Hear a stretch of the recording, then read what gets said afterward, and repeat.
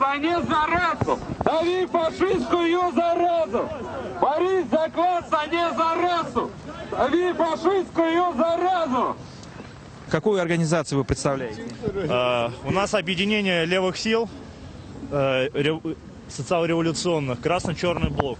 Какими идеями вы, вы сегодня пришли? Я, конечно, прочитал, что вы против фашизма. Молите, можете... Революционеры. То есть у нас ле- левые коммунисты, социалисты, антиавторитарные, анархокоммунисты, либертарные коммунисты, либертарные марксисты. То есть э, весь как бы... Левый спектр. Да, ле- левый спектр, леворадикальный. Меня зовут Наталья. Это Наталья, это мой гражданский долг э, помнить э, героев, которые боролись за те же идеи, за которые борюсь я, так как каждый из нас может в любой момент погибнуть, может, каждого из нас могут в любой момент посадить в тюрьму, и мы должны держаться вместе. Как, э, какую организацию вы представляете? Я анархокоммунистка.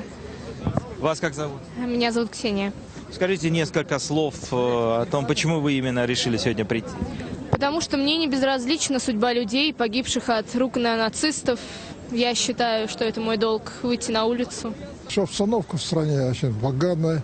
Вот, давиловка идет, свобода вся давится.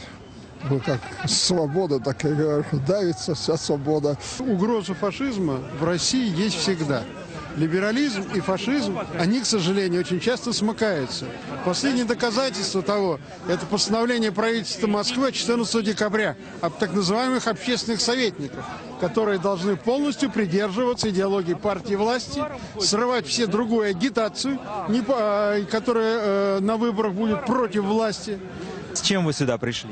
С какими лозунгами?